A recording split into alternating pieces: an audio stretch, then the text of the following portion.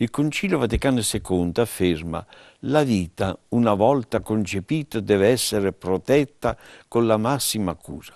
L'aborto e l'infanticidio sono delitti abominevoli. La pena della scomunica sottolinea la gravità e il pericolo di una continua diffusione dell'aborto. L'aborto e l'infanticidio sono delitti abominevoli la gaudium et spes. L'aborto è sempre un delitto, anche se la legge civile lo ha legalmente permesso. Nessuno può rendere onesto ciò che è intrinsecamente disonesto. L'aborto è sempre un delitto, anche se la legge civile lo ha, ha permesso.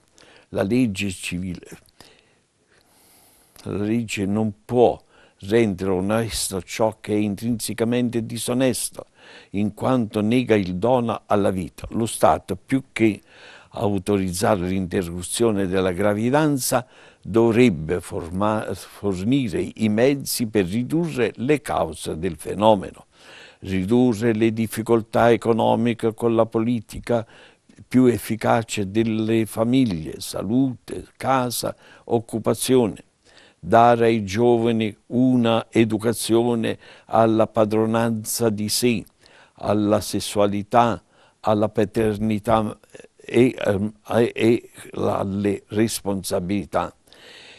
Informare i mezzi della limitazione delle nascite, rispettare le madri nubili e dare aiuto e serenità per vivere e far vivere, promuovere l'adozione, incoraggiare i centri specializzati per l'accoglienza e l'assistenza dei bambini handicappati. Il dramma dell'eutanasia. L'uomo non è padrone della vita, ma solo amministratore. L'eutanasia, più che per, per compassione viene praticata per evitare fastidi, per spese assistenziali. È un mondo egoistico che porta l'uomo alla legge della, del branco di belve che alimenta la bestia malata e vecchia. la cultura della morte, l'omicidio.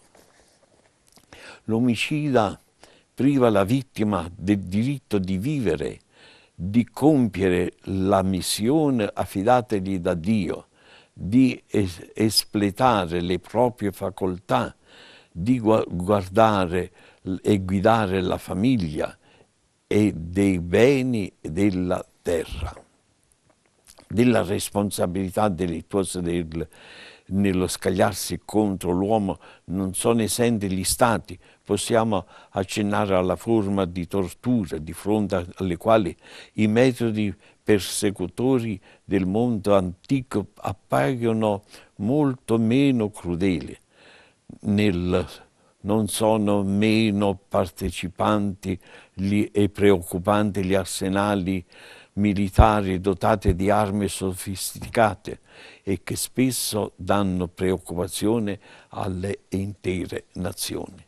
Siamo stati creati di Dio per vivere su questa terra nella gioia, nella serenità e nell'impegno del lavoro per far crescere la, la nuova generazione, quella di Cristo che è venuto a salvare in questo mondo.